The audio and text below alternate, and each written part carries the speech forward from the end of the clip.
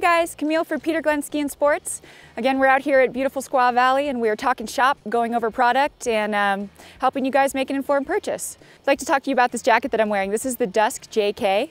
It has DryFlight technology, which means it's nice and water resistant.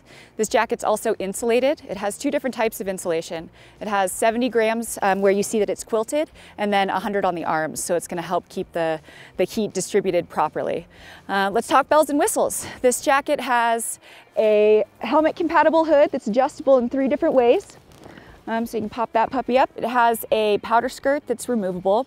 One of the great features about this jacket is that it will also attach to the pants that correspond with it. Um, I can just demonstrate here by showing you guys this loop that's attached. Um, so if you guys are skiing in deep snow, you happen to take a digger, you're not gonna get snow in your shirt.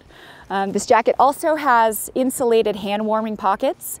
Um, we've got the pass pocket on the sleeve.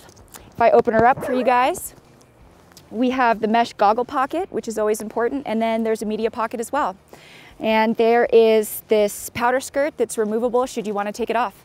Overall, this is a great jacket. It's super movable, it's lightweight, and it's warm. Again, this is the Roxy jacket, uh, Dusk JK, and I love it. Thanks guys for watching.